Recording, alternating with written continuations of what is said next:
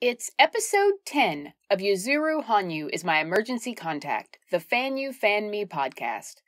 And as we find ourselves rapidly approaching a certain winter sports event that only happens every four years, I think it's the perfect time to focus on something less stressful than jumps, championships, and scores. Instead, this episode will pay homage to Masquerade, the program which first sent the Fanyus into our dark corners, and the incredibly endearing yet tirelessly elusive phenomenon known as Yuzuru Vague. But before we stop focusing on jumps, championships, and scores, I have to take a moment to give a special shout out to a certain honorary Fanyu who deserves his own gold medal for frankness. And that person is Massimiliano Ambesi.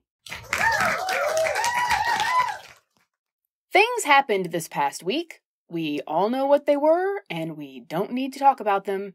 And one of those reasons we don't need to talk about them is because someone has already said everything that needs to be said about those things.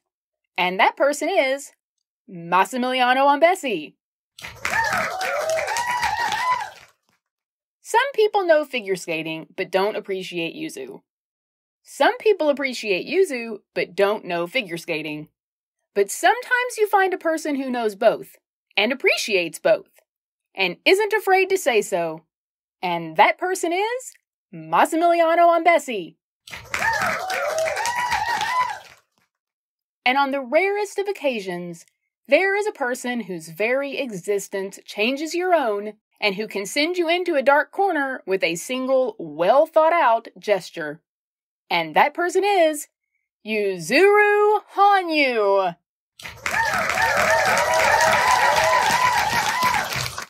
I love you, Massimiliano, but I know you appreciate giving credit where credit is due, especially if that credit is due to Yuzu. And it so is. Especially during the summer of 2019, when Yuzu first sent the Fanyus into their dark corners. While I know he had been doing it for years before, I'm not sure it had ever caused quite the mass exodus for the entire fan universe in the same way as Masquerade. せーの。Yuzu ran his fingers through his hair and caused a paradigm shift in the Fanyus. We kicked off a new season of Fantasy on Ice last weekend. It started in Makuhari, and yes, I had a soft pretzel. Yuzu is in the shows again this season, obviously, or they wouldn't be on my radar. Trust me, without Yuzu, Fantasy on Ice couldn't be less fantastic. The Fanyus spent their time leading up to the first show in all the usual ways, hacking into NASA's mainframe to try to stream the shows from Japan for free, posting happy, hysterical crying cat emojis simply from being momentarily overwhelmed that Yuzu exists, and of course, speculating on which direction he would comb his hair. That reminds me, there was a magazine released in Japan which explained in great detail, including color coded directional arrows, how Yuzu styles his hair. Multiple diagrams for each hairstyle variation, several pages long. This wasn't created by a Fanyu. This was an actual, legit publication, which I'm sure sold out instantly. I hate to break it to you, fellas, but you won't be Yuzu even if you follow the green arrow 26 degrees to the right and the orange arrow 131 degrees to the left. But the Zamboni's almost done, so back to Fantasy on Ice. The show started with the usual group number, which, were it not for Yuzu, you might see at your local ice rink on a Saturday night. I know, I know. There are other Olympic winning figure skaters in Fantasy on Ice. It's not the same. It was status quo until Yuzu dipped one of the female skaters at the end of the group number. The way the Fanyus reacted, you would have thought he had sex with her right there in the middle of the ice. It was similar to the reaction to the Haru Yokoi Hydroblade in Fantasy on Ice in the previous year. However, we all know in that case, no girl was needed. Yuzu and the ice made out just fine. There was ample time to recover from Dip on Ice 2019 but there would never be enough time to prepare for what came next. Lulled into a is the stuff these other people are doing actually considered the same sport as Yuzu's stupor, it was time for his solo. We had seen pictures from it, and before that we had seen sketches of the costume posted by Fanyus at the arena, trying to describe and upload the drawings to Twitter as if they were courtroom sketch artists. I think the material is this.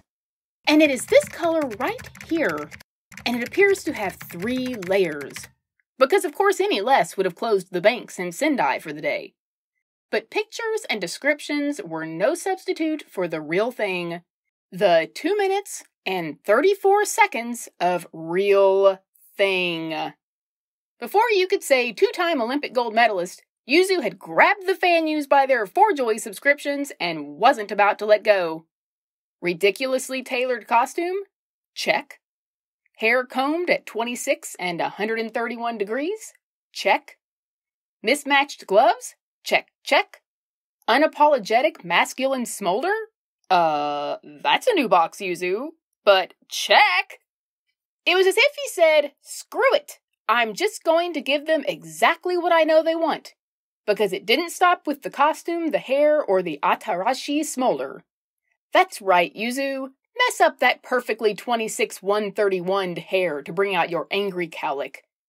Slowly lower your hand to your throat while you're spinning because it just does something for us. Cover your eye like Kaneki does when he's with Hide in the coffee. I can't, it's too beautiful. And at the end, after you've hurled your glove to the ice, simply stand there, longer than usual, and let us just look at you while you appear to curse in Japanese over how kuyashi you feel about this spectacular performance you just gifted to the universe. It's obvious why you threw your glove at the end. You were throwing down the gauntlet as if to say, I dare you to ask me for more than that. And just in case anyone did, you solidified it with one last running of your fingers through your hair just as the screams started to die down a stab into your prey that was already dead on the ground. It required zero skating skills, but you still scored a plus five GOE for that unbelievably premeditated hair sweep. Let's keep it real. We know you and Pooh-san came up with all this one night while sharing a Zunda McFlurry and watching Tokyo Ghoul. The quad axel wasn't enough to keep you busy during the off season, so you had to develop the perfect package to give us everything we possibly ever could have wanted. And now we don't know what to do. So we've done nothing. Well, at least publicly. Given the avalanche of Facebook postings the anticipation of this performance created, there was shockingly little posted after it. This wasn't radio silence. This wasn't Crutch's Yuzu silence. This was, well, there's no word for it. Yuzu overload? Hmm, Moshikashitara. It's as if each Fanyu took a sabbatical to handle it in their own individual ways, saying, I'm just gonna take that 2 minutes and 34 seconds and go sit over here in this dark corner for a while. We may have needed to start another Shakespearean prayer circle, but this time for a whole other reason. A few Fanyus have resurfaced, but the comments are all the same. I can't handle this. Things got eerily quiet. The next day, while the Fanyus were still not handling this, Yuzu returned to his innocent, quirky self, photo bombing Plushenko and posing like the sweet Otoko Noko next door to sell Fantasy on Ice t shirts like absolutely nothing had happened the night before. But we hadn't forgotten and he knows it. You could tell from the look he gave the camera after the parting shot hair sweep. The one proclaiming he has upped his game. I mean, we know he's a competitor. But Yuzu, you will always be in the lead. And it's possible this time you broke the Fanyus to the point that we'll never be the same. Until you do it again. 完成です. Since Masquerade, many Fanyus have taken up permanent residence in a dark corner, or at least own a timeshare there. If you'd like to send me a letter, address it to Fanyu number 11141207, Dark Corner Northeast, Masquerade Town. I'm currently looking at some Dark Corner property in Blinding Lightsville, but you should see the wait list to get in there. For now, I have to be content with just driving by on the weekends and hanging my head out the car window. But back to the FanyuFanme Prefecture. While both of this episode's posts are at the top of the all time most read list on fanyufanme.com, Yuzuru Vague-yu charmed the world and holds the honor of taking home the gold medal for the most read post of all time. And not just by a few clicks. No, Yuzuru Vague-yu won that competition in a 2015 2016 Barcelona Grand Prix final kind of way. He even has his own sticker in the FanyuFanme Redbubble shop. A true sign of achievement. せーの。There's nothing quite like Yuzuru Vague-yu. Who has been interviewed more than Yuzuru Hanyu? I would venture very few people. Who has managed to reveal less information in their interviews than Yuzuru Hanyu? No one. And it is glorious. Before we dive into this wonderful, vague world Yuzu has been expertly cultivating for years, let's get a few things straight. Number one, I am not saying Yuzu lies. Number two, I am not saying Yuzu misleads. And number three, I am not saying Yuzu manipulates. I am talking about Yuzu's mastery of eloquent elusiveness. He listens so thoughtfully, he explains so thoroughly, sometimes to the point of answering one question so prolifically that it ends the press conference in one blow. 本当申し訳ない。 I imagine interviewers nodding and nodding, feeling like they are getting the scoop of the century. But then, once they get back to their hotel rooms with their recorders, they realize they have unearthed nothing. The 2019 press conference after the unveiling of Yuzu's Olympic monument in Sendai is a perfect example of this. A reporter asks, What is Yuzu's dream? He immediately jumps, Triple axels? into speaking about the quad axel. Ah, yes, of course, you can imagine every reporter thinking, but from the very start, he specifies that the quad axel had been his dream. After a bit of explanation, he pauses, repeating the question, and puts on his best, here comes an epiphany, Yuzu thinking face. Not even being in the room, you can still feel every reporter lean in. This is going to be an exclusive. Hanyu Senshu has a new dream. What is it? Coaching? His own brand of earphones? Gasp. Marriage? He smiles the sly Yuzu smile and drops what is bound to be the next newspaper headline around the world. I think my dream right now is to be the first person to land the quad axel cleanly at an official competition. The cameras flash like crazy. Yuzu smiles, nods, and gushes gratifications. Eureka! What a moment in the history of journalism! Wait a minute. Let's recap. Yuzu announced that the quad axel used to be his dream, but now his dream is the quad axel. I love this person. Because this is just one moment in a career's worth of no flash news flashes flawlessly delivered by Yuzu. It appears to have started at a young age. I saw an interview with Yuzu from when he was probably about 16.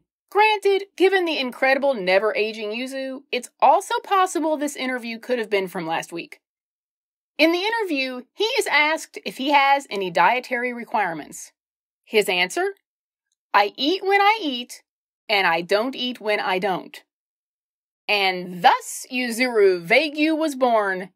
One might say it was Yuzuru Vague-yu's origin, minus the fabric feathers and gold and purple beading.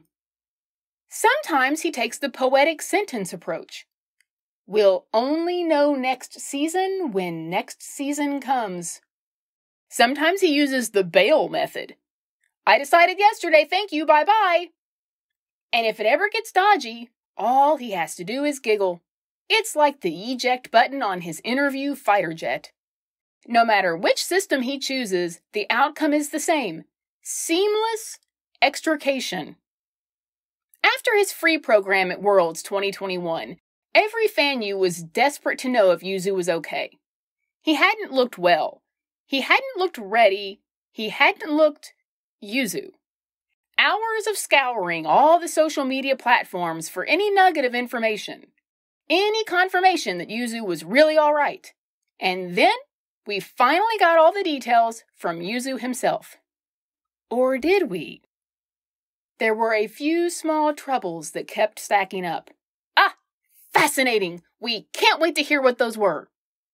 Ultimately, I think all those small things. Wait, Yuzu, what small things? Ended up making everything fall apart. Tell us what happened exactly. In my mind, yes, your mind is what we want to be let inside. I'm certain of the cause. Which was? Having said that, what? Having said what? What was said? Was anything said? He's been talking. Something must have been said. And thus we have moved on, having Hanyu having said absolutely nothing. Need we say more? i sincerely hope that Yuzuru Vague-yu makes an appearance, or several, at that certain winter sports event next month. Not only is it fascinating to behold, but I also have the secret hope that just once Yuzu would respond to a question with, The quad what? If you enjoyed this week's episode, venture out of your own dark corner and visit FanyuFanme on Twitter, Facebook, Instagram, Redbubble, home to the Yuzuru Vague-yu goods, or fanyufanme.com. As for the next episode, we'll only know the next episode when the next episode comes. Until next time, say it with me, Yuzuru Hanyu. The FanyuFanme podcast is a Back to the Forest production. Back to the forest. um, you know, just kidding.